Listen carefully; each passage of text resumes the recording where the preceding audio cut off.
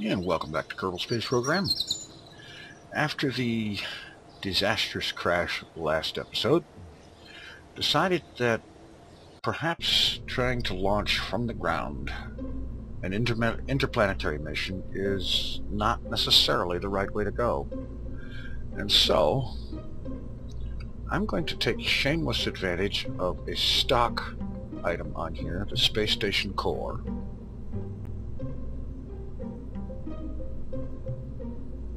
And build a launch vehicle that can get this into a decent, respectable orbit, an accessible orbit, add things to the space station, and from the space station, the interplanetary flights will be launched from there. So, I'm going to get to work on designing this. I know there's going to be a lot of trial and error and futzing around, and so I think what I'm going to do is go ahead and do my design work off camera and then I will uh, review the design once I'm finished. And so I'll be back. Alright, I'm back after about a half an hour of fiddling with this and that and tweaking things. I've come up with what I think should be a reasonably good launch vehicle. First up, I've modified the station core it came with uh, this docking node with uh, five docking ports on it, four around the sides and one on the end, and another docking node up here. At the top there is this circular battery thing and then six more batteries around the outside with the two Gigantor solar panels. I added two of the large RCS tanks and RCS thrusters to it and I also added four of these wide beam floodlights so that uh, the docking ports can be nicely illuminated during a docking procedure. And for the booster, I decided on something a little different. Instead of putting a decoupler here, or, or a stack separator or something like that, what I did was I took advantage of the fact that there's a docking port here and I put another docking port at the top end of this booster stage. That way, in the event that the booster stage ends up remaining in orbit after the station is deployed, the docking port will allow another ship to come up there and dock with it so that it can then be deorbited. And for that matter, if it still has a significant amount of fuel in it when it gets stationed in position, I'll probably just go ahead and leave it docked. Other than that, we've got a fairly simple basic design here. Uh, three of the large fuel tanks and a set of six boosters around the side arranged with asparagus type staging, which means that these two boosters, this one and its opposite number will go first, and then this one and this one will go, and then this one and this one, and finally these two will separate. All with uh, fuel lines feeding everywhere it needs to be and so on. So, now that this thing seems to be ready, let's launch it. Aim for a, uh, say, a 100 kilometer orbit and get this thing in gear. All right, we have Malzar Kerman and Kenwick Kerman and the pilot piloting the uh, space station. They're uh, riding in this little uh, two-man lander can. And so, let's crank up our SAS and throttle up and let's go.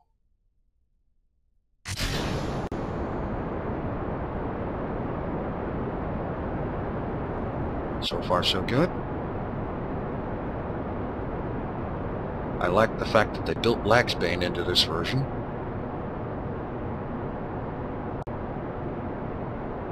First stages are going in just a few seconds.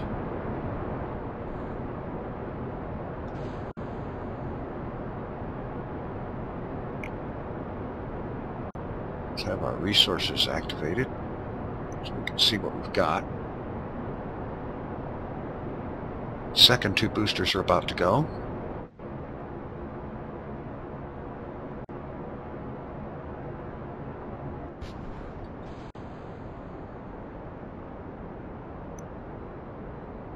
Okay, our third set will be going soon. Well, maybe not too soon, but we seem to be flying straight and true. Doesn't seem to be any tendency to spin or anything like that. The central tanks are still full.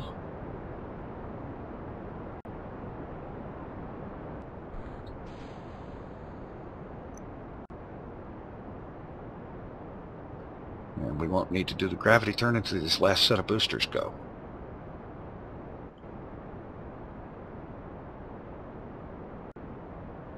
Gaining decent velocity. Little bit of wobble. I'm thinking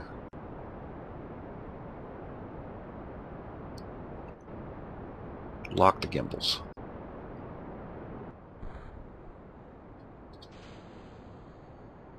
And we can get rid of that gimbal-induced wobble that way. Alright, now...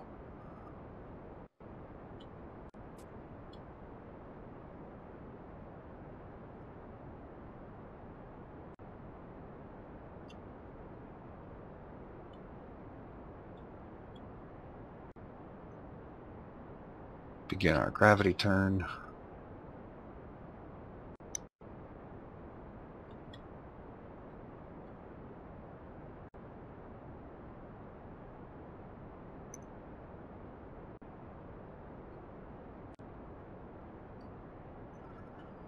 need to be pitching over quite a bit more here.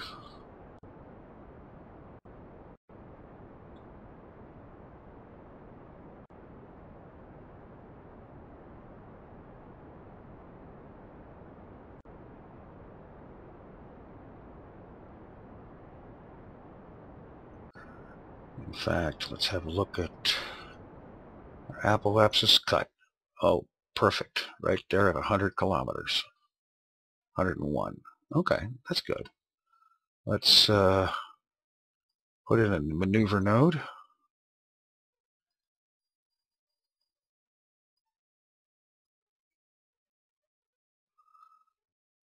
And plan a maneuver to get an orbit going here.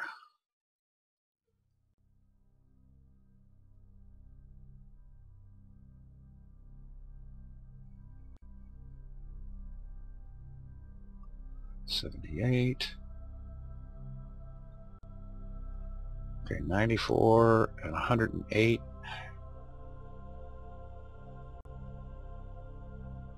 I'm going to go with that. That's a good start. And we can do refinements on the circularization later. Alright, now. Now we have our marker, estimated burn time of 51 seconds. And we'll be burning in 50 something seconds, so I need to get into position.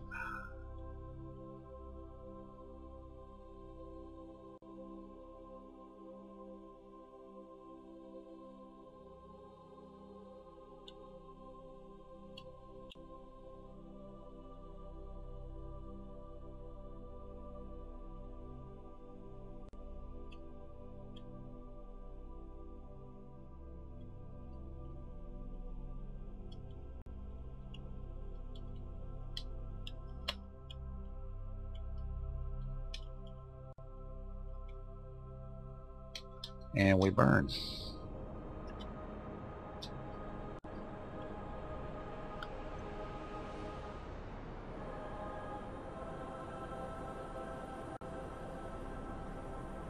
A little less than full thrust, I think.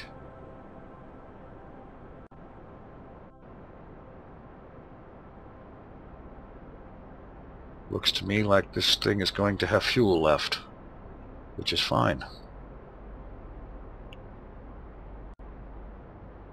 Might even just leave it there as a uh, fuel tank and bring ships up to refuel it and have it as a fuel depot.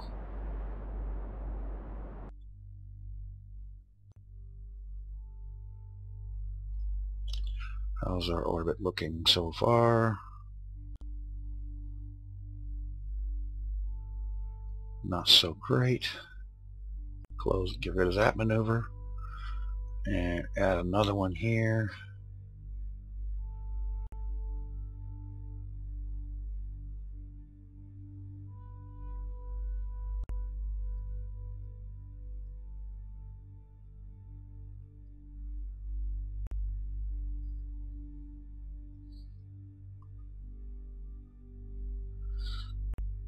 82 by 138.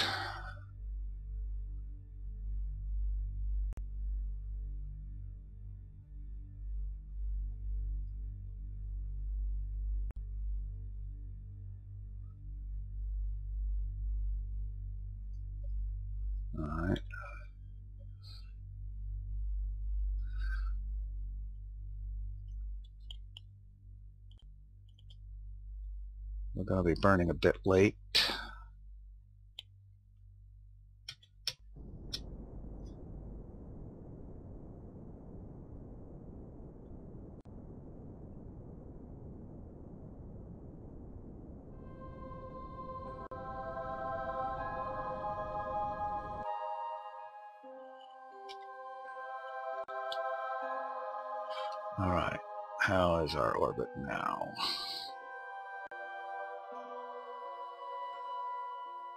81 by 123. Okay, so I think what I'm going to do is I'm going to go around to apoapsis and bring the periapsis up. So we'll add a maneuver there.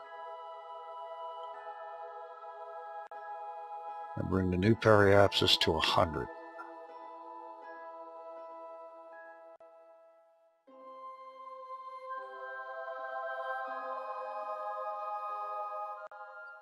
I do wish that these uh, numbers, you could keep them displayed.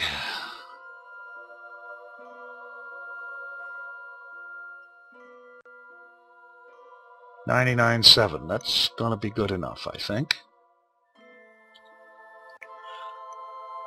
All right.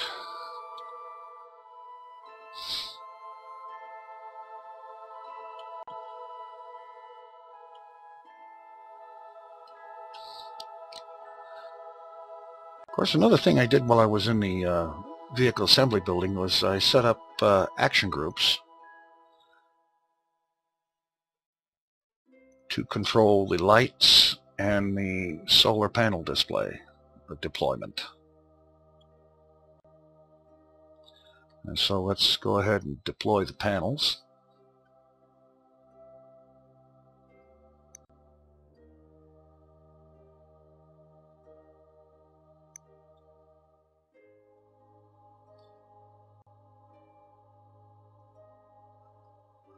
Well, I pressed the key for it. There we go. Solar panels deploying. And let's turn on the lights just for giggles.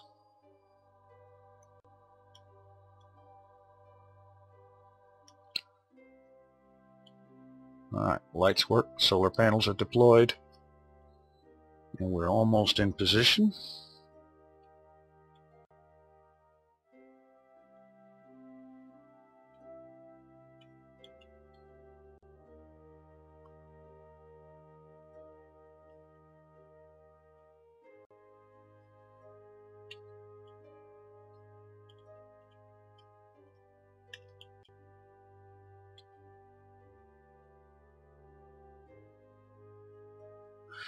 Now it's just a matter of warp 17 minutes around and burn 15 meters a second worth of delta V.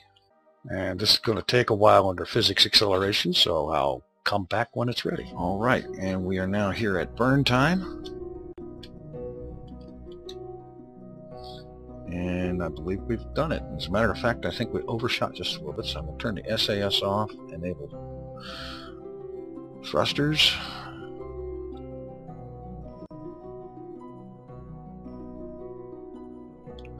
And reverse just a little bit of that because it's easier trying to turn this beast around. In fact, let's have a look. Get rid of the node. Periapsis 101. Apoapsis 123. Alright, new maneuver node here. Bring the Apo down. to 101.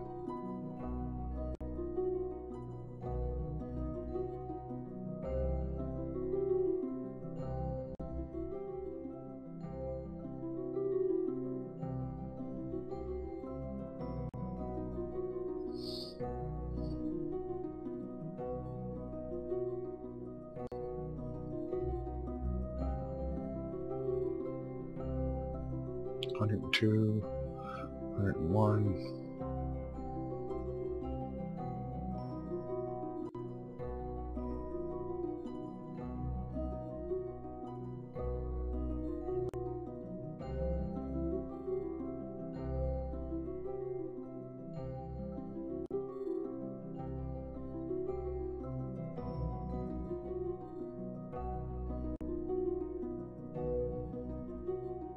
very touchy here. 101, 101.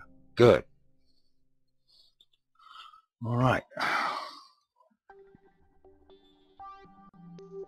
And we appear to already be lined up.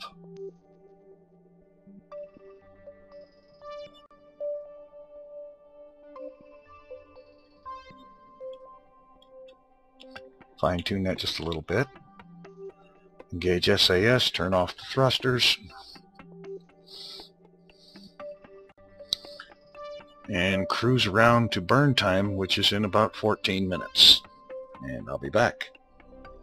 Alright, here we are at just under one minute before the burn.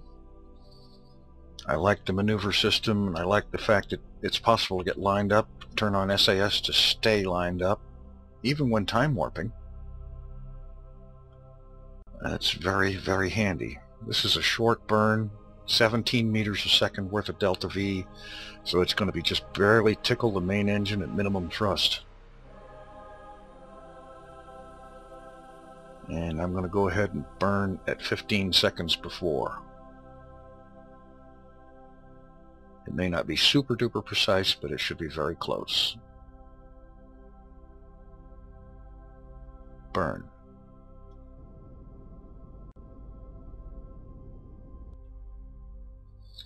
Accurate to within 0.3 meters a second. Excellent. Let's have a look. We can turn off the node.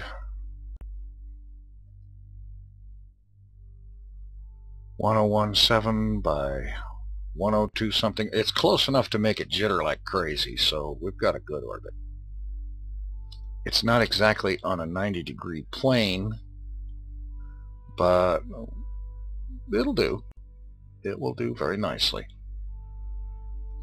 And now to see about getting more components up to that ship.